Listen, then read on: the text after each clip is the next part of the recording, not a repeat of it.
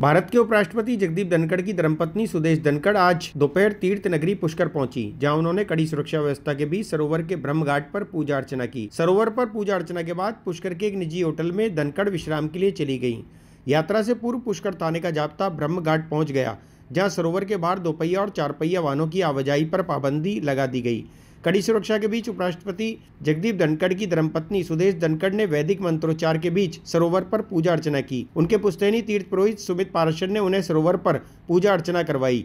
इस दौरान धनखड़ के दौरे को उनके सुरक्षा कर्मियों ने मीडिया से दूर रखने का प्रयास किया। जानकारी के अनुसार सुदेश धनखड़ नागौर ज़िले के डेगाना में एक निजी कार्यक्रम में शिरकत करने आई हैं। इससे पूर्व उन्होंने पुष्कर सरोवर में पूजा अर्चना कर एक निजी होटल में विश्राम किया।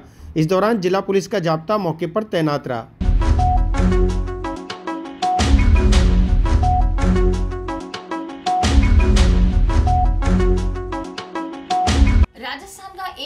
ऐसा मार्ट जो लाइफ कंसल्ट लेकर आया है आपके लिए। नंबर वन चक्की से पिसे शुद्ध मसाले और सभी तरह के अनाज। अपनी आँखों के सामने पिसवाए। रसोई से संबंधित कोई भी मसाला या अनाज। 100 प्रतिशत शुद्ध कच्ची घानी तेल रसोई से जुड़ा हर तरह का सामान उपलब्ध। साथ ही दो हज़ार रूपए की खरीदारी पर फ्री होम डिलीवरी तो चले आइए, नेहा फ्रेश मार्ट मोती विहार कॉलोनी, महादेव मार्बल के पीछे, बांडी नदी, पुलिया, Ramnagar Pushkar road, Ajmer. Double nine two nine zero nine zero one five two